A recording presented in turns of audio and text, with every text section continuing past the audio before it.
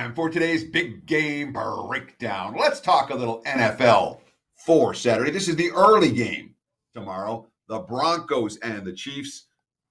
4:30 Eastern Time, 1:30 here uh, on the left coast in NFL action for Sunday. Right now, looking at the WagerTalk live on screen, uh, I'm seeing Kansas City minus 11, minus 11 and a half. It's more minus 11s right now. A total of 45 for this one.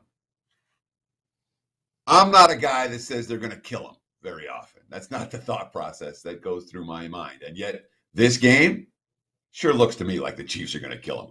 The Broncos offense has not worked in any recent meeting against Kansas City.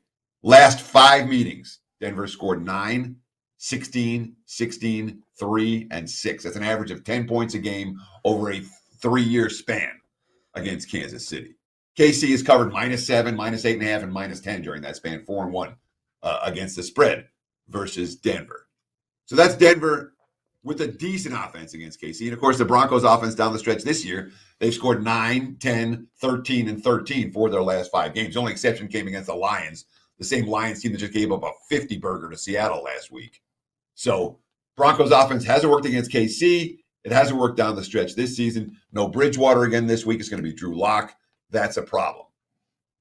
The other side of the football may be just as bad. It's a quarterback nightmare for Denver this week. Ronald Darby's out. Pat Surtain is out. Kareem Jackson is out. They have a COVID outbreak. Their offensive line is decimated. No Jerry Jeudy. No Bradley Chubb. McManus, the kicker, is on the COVID list right now. This could be Vic Fangio and Pat Shurmur's last game. Fangio with the defense, Shurmur for the offense.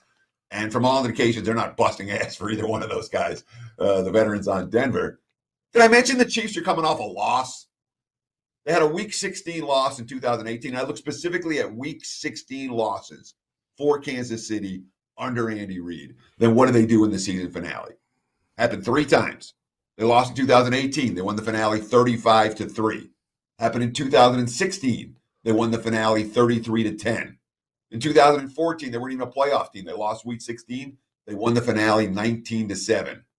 Reid doesn't want back-to-back losses going in. And the Chiefs because they're playing on Saturday, we'll go into this game live for the number one seed off, you know, and the week off and the bye week. That's a motivator. The Titans haven't played yet. So this line can only go up. I'm surprised we've seen some buyback uh, on Denver this morning. I thought it was only, you know, on a rocket ship to 13 and a half, 14. It's 11 right now. It ain't going much lower. um, don't wait to get on board for this one. Kansas City minus the spot against Denver. There's your big game breakdown. Back to you, Mr. Brett.